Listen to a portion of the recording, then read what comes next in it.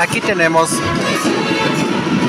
una parte más de el desfile de la primavera aquí en Atlixco con estas adolescentes que representan de una manera fascinante a la comunidad de Atlixco para recordar el Día de la Primavera 2024.